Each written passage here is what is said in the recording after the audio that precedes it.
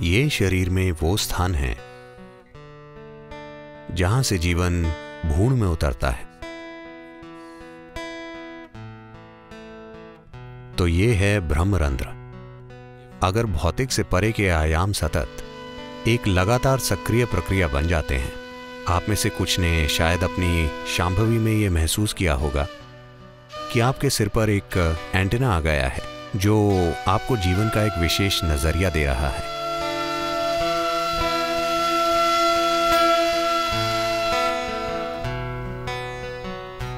अगर आपके घर में एक नवजात शिशु है तो आप देखेंगे कि कपाल का एक विशेष हिस्सा पूरा नहीं बना है। क्या आपने ध्यान दिया है? तो बच्चे को कोमलता से संभालना होता है। वहाँ पर सिर्फ़ त्वचा होती है, कोई हड्डी नहीं होती। तो यौगिक शब्दावली में इस भाग को ब्रह्मरंध्र कहते हैं। रंध्र का मतलब होता है एक मार्ग, जैसे छोटा छेद या सुरंग का मार्ग। तो इसे ब्रह्मरंध्र कहते हैं। तो ये शरीर में वो स्थान है, जहाँ से जीवन भूण में उतरता है। क्योंकि जीवन भूण में आ गया है और जीवन अपने विकल्पों को खुला रखता है, यानी क्या ये शरीर उसे कायम रखने में सक्षम है या नहीं? तो जीवन विकल्प खुले रखता है। जीवन प्रक्रिया में इतनी जागरूकता होती है। तो ये आखिरी मिनट तक उस चौर दरवाजे को खुला रखता है। वो इसे खुला रखना चाहता है। अगर वो अपने अस्तित्व के लिए उस शरीर को उपयोगी नहीं पाता तो वो शरीर को छोड़ देगा। और ये शरीर के किसी दूसरे मार्ग से नहीं जाना चाहता ये वहीं से जाना चाहता है जहाँ से आया था एक अच्छा मेहमान हमेशा सामने के दरवाजे से अंदर आता है और सामने के दरवाजे से बाहर जाता है अगर वो सामने के दरवाजे से आता है और पीछे के दरवाजे से बाहर जाता है तो मतलब उसने आपका घर साफ़ कर दिया है So he wants to go out to the same door, so he keeps it open till the last minute. He wants to keep his choices. तो वो उसी दरवाजे से बाहर जाना चाहता है तो वो उसे खुला रखता है। आखिरी मिनट तक वो अपना विकल्प बरकरार रखना चाहता है। ऐसे कई मामले हैं। अगर यहाँ डॉक्टर या प्रस्तुति विशेषज्ञ हैं तो आपको पता होगा कि ऐसे तमाम मामले होते हैं, जहाँ सभी चिकित्सा मापदंडों के अनुसार भ्रूण स्वस्थ था, सब कुछ ठीक था, पर किसी कारण से एक मृत शिशु पैदा हुआ। बस इसलिए, क्योंकि अंदर मौजूद जीवन अभी भी चुन रहा था। अगर उसे लगता है कि ये शरीर गलत तरह का बन रहा है। जीवन की अपनी कर्म संरचना है और भ्रूण में माता पिता का कर्म है। तो हालाँकि वो अपने चुनाव से ही आया है, बात बस ये है, नब्बे प्रतिशत या उससे ज़्यादा मौकों पर यह सही होता है। पर जीवन इस बात के प्रति सचेतन है कि ये कभी कभी गलत चुनाव कर सकता है।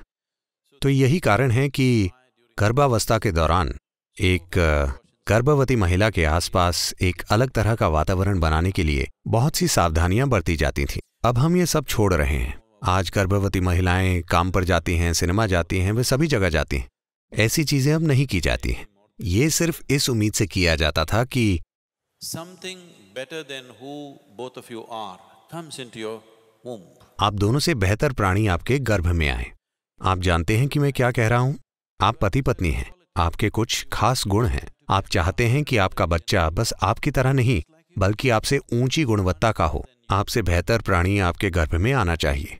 उस वजह से गर्भावस्था के एक खास चरण के बाद एक पति को भी उस महिला को देखने की अनुमति नहीं थी, क्योंकि उसे आराम और खुशहाली की एक खास अवस्था में रखना होता था। एक खास तरह के विचारों के साथ, एक खास तरह के वातावरण में, हर तरह से उसके सिस्टम को खुश रखने की कोशिश होती थी। सही तरह की सुगंध, ध्वनिया, मंत्र, भोजन, हर चीज़, ताकि उसका शरीर एक ऐसी अवस्था में हो, जिससे सही किस्म के प्राणी को निमंत्रण दे। शायद आज की दुनिया में इन सब चीज़ों का सवाल ही नहीं उठता।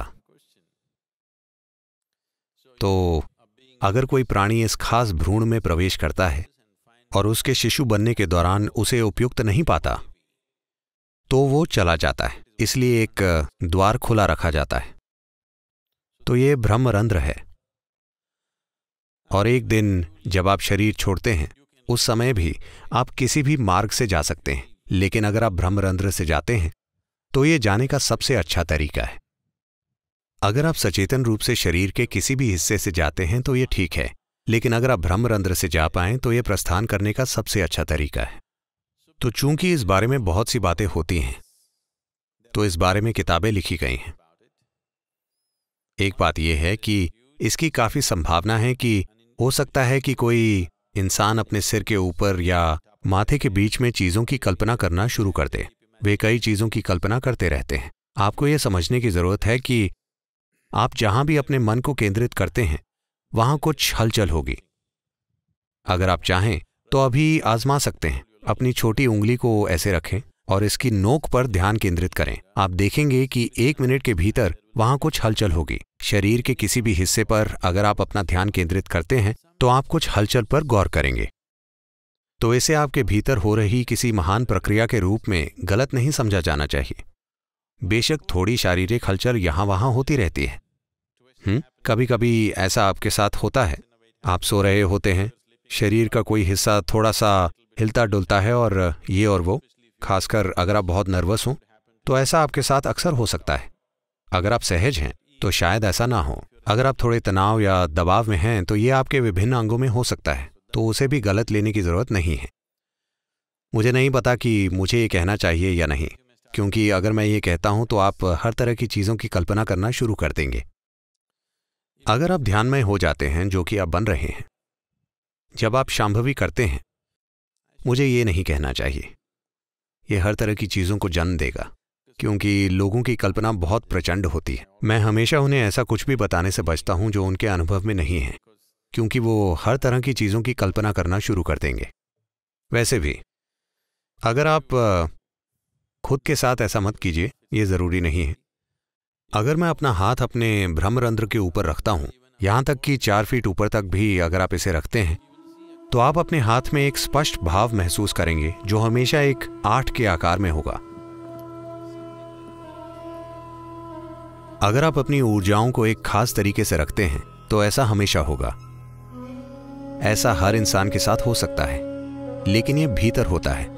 यह शरीर से आगे नहीं बढ़ता, क्योंकि सिस्टम में मौजूद 114 चक्रों में से अंतिम दो चक्र शरीर के बाहर हैं।